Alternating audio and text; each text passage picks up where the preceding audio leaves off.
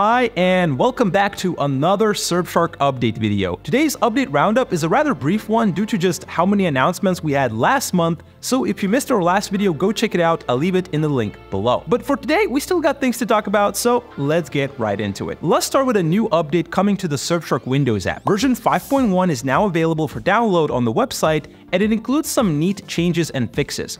First things first, Surfshark's new tool Alternative ID has been integrated into the app via the tab option.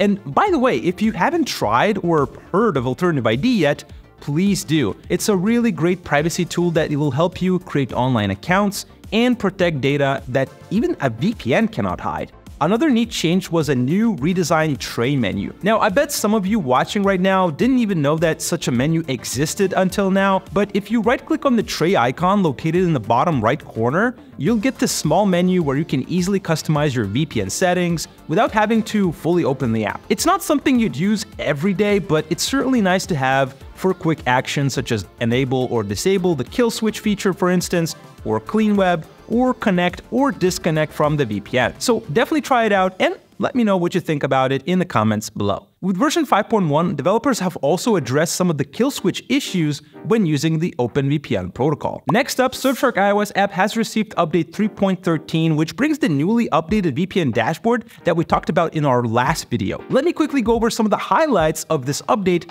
or at least my personal favorite ones. First is the fact that you can see your enabled settings after dragging this connect box here. For example, if you have Clean Web enabled, you'll see that being displayed. If you are using WireGuard or OpenVPN protocol, you will also see that because it will show up now. Second, you can also clear your recent used VPN locations list with this clear button, which is something that was not possible before. Third, changing your Quick Connect VPN country is much faster with the newly added change button right over here. Lastly, and this is subjective mind you, but I really dislike the fact that the connection feedback pop-up would take the whole screen. Now it's much more streamlined and is not as intrusive. But speaking of the new UI changes, let's discuss them in more detail. The new dashboard has been available for Windows and Android for about a month or so, and the Surfshark team has been gathering all the feedback they can regarding this redesign. First of all, let's start with the good. The overall feedback on the desktop variant of the app has been very positive. It seems that the extra information being displayed like the amount of data being uploaded and downloaded is useful, as well as seeing which features and settings you have enabled and being able to just turn them on or off by clicking on them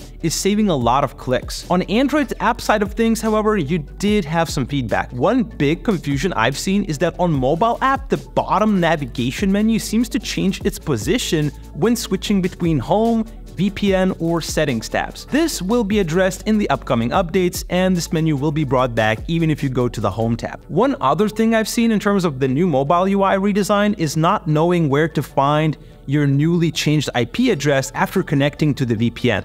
So to demonstrate by clicking on the VPN tile from home, you will be taken to the VPN dashboard. Here by dragging this bottom menu up, you will get all the necessary information you need. So overall, the Surfshark team is aware of your feedback and will be making the necessary changes in the next upcoming updates, so stay tuned. Speaking from experience, I know that big redesigns on various apps do take some time to get used to, and also it takes time for the developers to fine tune it to suit users' needs. By the way, if there's one thing everyone in the security world can agree upon is that 2FA is not perfect. It's definitely one of the best ways to make your account more secure, but having to punch in a code every time you want to log in is not convenient, I must admit. Well, if you ever used Surfshark Alert, you'd know that you can only access it if your Surfshark account had 2FA enabled on it, until today. With the recent update, you can now access and use Surfshark Alert without the need of two-factor authentication.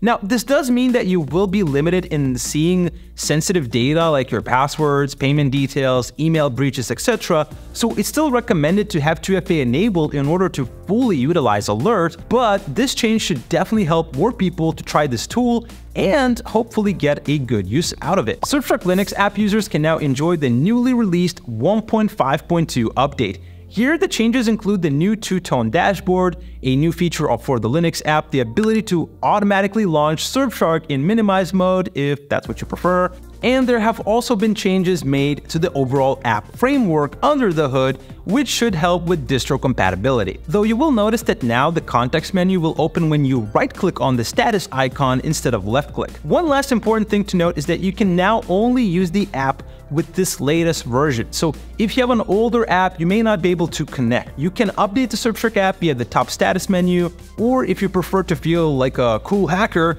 you can also do it via the terminal by typing in the sudo apt update command. And that is all the Surfshark app updates for this month. However, let's quickly go over our highlighted community poll where we asked you guys, which Wi-Fi signal do you prefer?